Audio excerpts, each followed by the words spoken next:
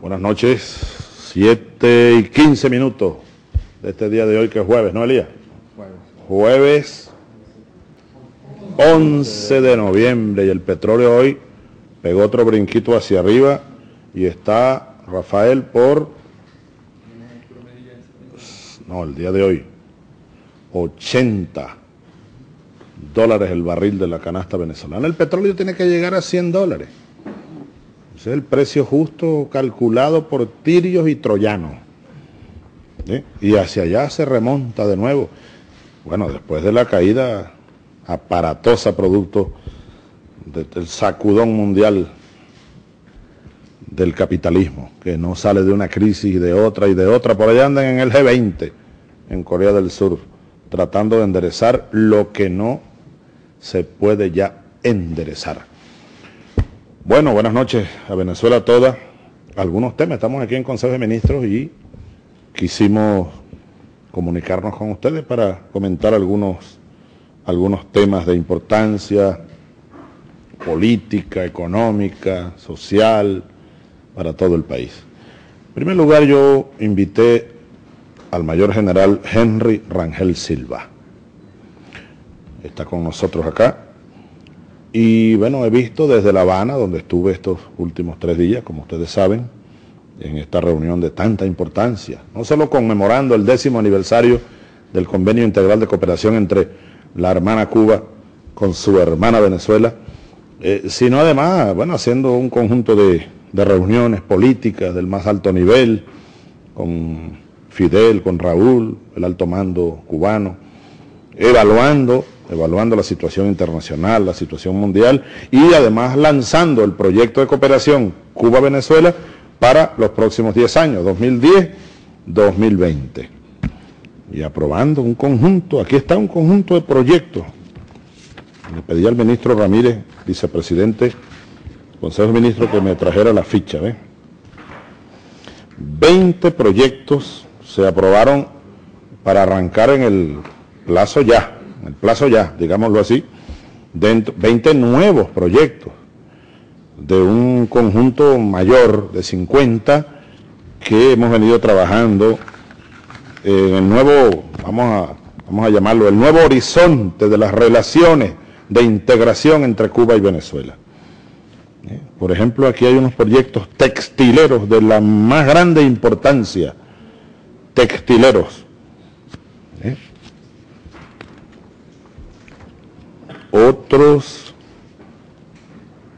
fábrica de equipo inmobiliario clínico para centros asistenciales, producción de sacos y su comercialización,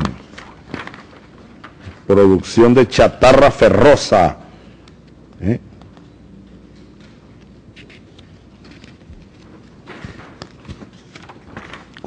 este es uno de los más importantes, construcción de un complejo industrial farmacéutico en Venezuela, con el infinito apoyo cubano y, su gran experiencia y su gran capacidad. ¿Mm? Polo científico, farmacéutico. Luego, una empresa mixta para recuperación, reparación y mantenimiento de tanques de combustible, plataformas de suministro de combustible y a buques e instalaciones conexas. Empresa mixta para la administración de diques y astilleros. Otra empresa mixta para la formación y adiestramiento de venezolanos en especialidades navales de diques y astilleros. Una empresa para construir reparar transformadores de potencia para la industria eléctrica. Otra empresa mixta para perforación, para mantenimiento y reparación de taladros de perforación petrolera. Otra eh, empresa para la producción de alcohol y otros derivados en los complejos agroindustriales, eh, un conjunto de complejos agroindustriales, tanto en, Cuba como en Venezuela, de caña de azúcar.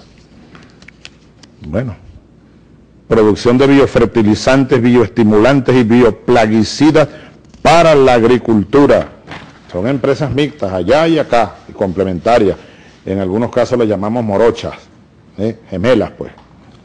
Tres plantas de cal hidratada ¿eh? y construir cuatro en Venezuela. Hay tres en Cuba que ya existen, se van a ampliar. Y con toda la experiencia y, el apoyo cubano vamos a instalar cuatro plantas de cal hidratada. Rafael, ¿para qué es que se usa esta cal hidratada? Industria petrolera, ¿verdad?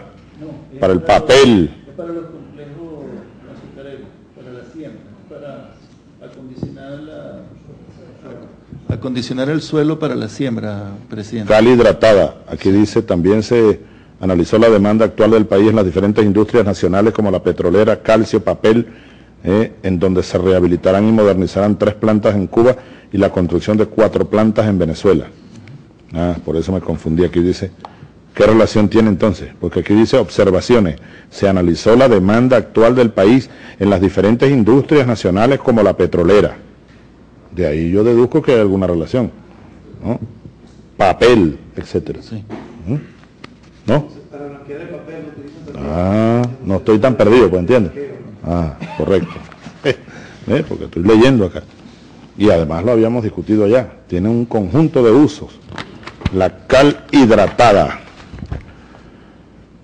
Proyecto para repotenciar la fábrica de sorbitol. Le comentaba yo a Vanessa por teléfono sobre el sorbitol y vi que lo sacó el correo.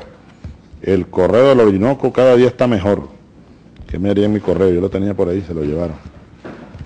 Creo que está aquí. Ah, aquí lo tengo, mira. Tremendo periódico. El Correo del Orinoco. No hay periódico como este en toda esta patria bolivariana.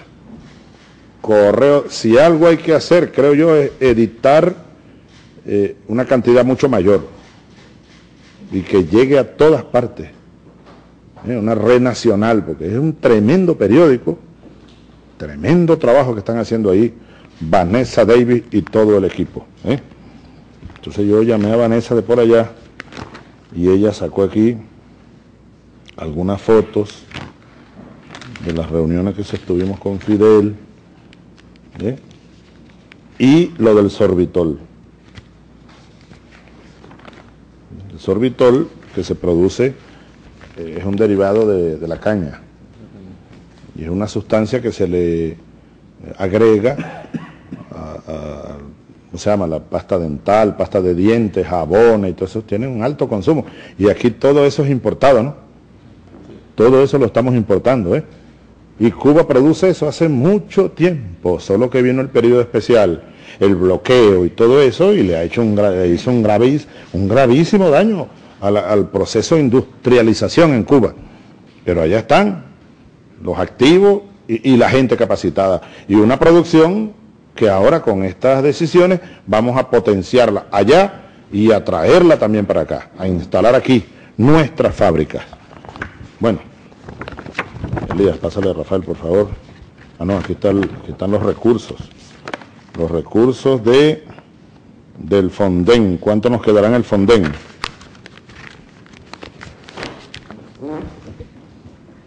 Llámeme, por favor, ¿dónde está el capitán Morales? El ministro Amelia. Póngame el teléfono, por favor, allí al presidente del Fonden o al presidente de Jordania. Sí, pero el que tiene las cuentas allá directamente, Baute. Si no queda mucho, pero a ver si me alcanza para esto. ¿Ves?